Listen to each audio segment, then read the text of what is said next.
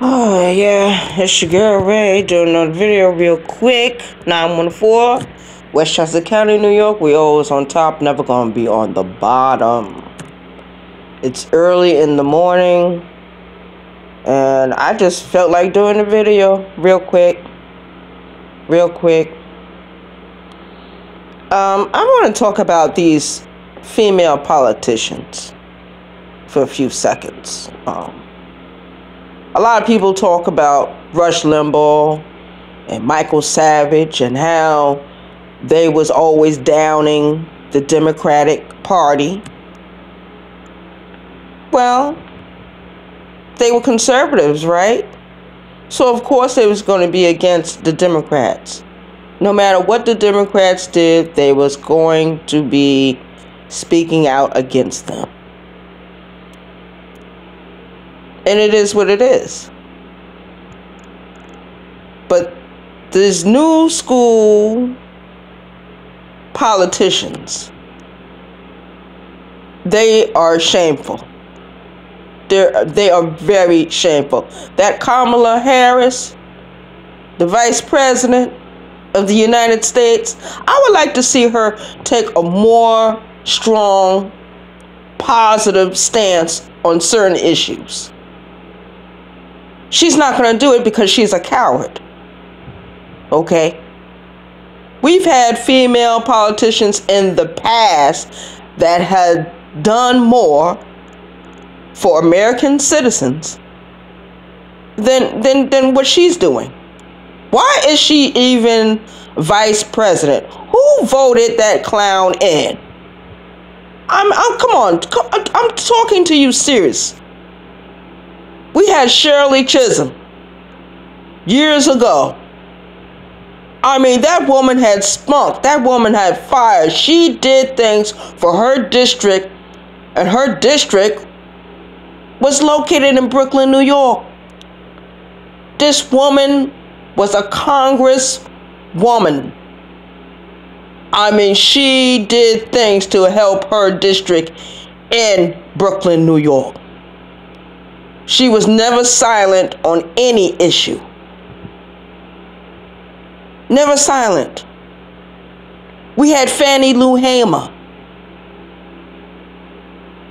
She was registering to vote years ago.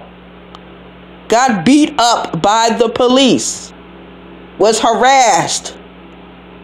There was uh, certain attempts made on her life we had Maxine Waters. Maxine Waters is still in Congress. 84 years old. In Congress still. The people in her district keeps voting her in. Knowing that this woman should go ahead and retire. I'm not I'm not speaking bad about Maxine Waters. But I think that her time in Congress is over. But the reason why she can't leave because there's, there's no one to replace her. There's really no one to replace Maxine Waters. We've had Barbara Jordan, another Congress lady who did stuff for her district, who worked with different uh, uh, people in her community she gave speeches. I mean, this woman was powerful. We've had other women, black activists, women that was a part of the Black Panther Party. They did more for their community than this Kamala Harris. She speaks in she speaks in riddles. She doesn't answer questions directly it, it, it seems to me like she's a coward. They're just using her. And when they get done with using her, she will be tossed to the side.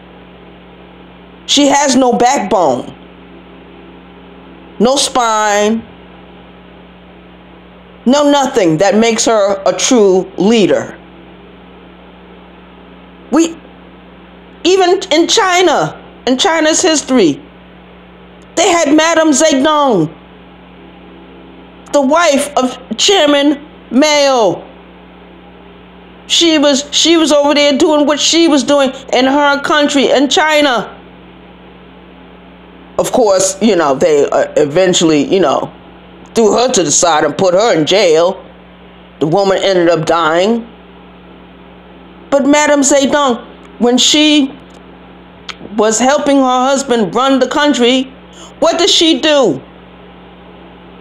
She stopped all that bullshit what the, what the country was trying to do to the women, binding their feet, all that bullshit.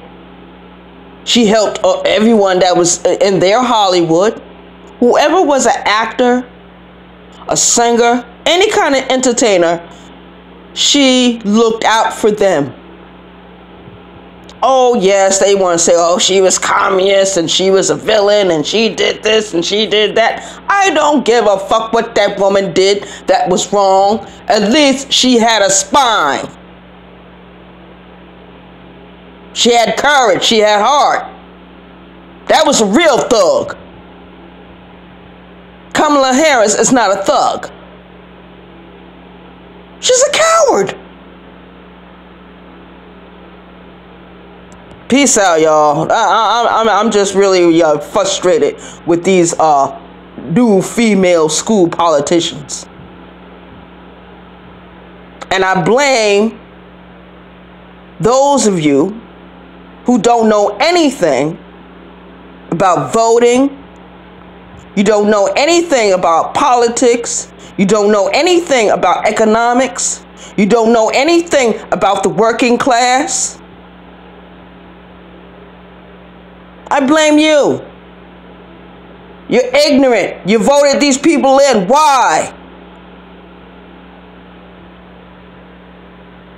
Goddamn Joe Biden. That's somebody's great grandfather. Y'all voted him in. He's a racist. He's more of a racist than Donald Trump is. When them rappers came out with their, their songs years ago, everybody was singing about Donald Trump, Donald Trump. How all of a sudden he became racist when he became president? And if he was, he wasn't the only racist we had sitting in the White House. How many times are we going to keep doing that?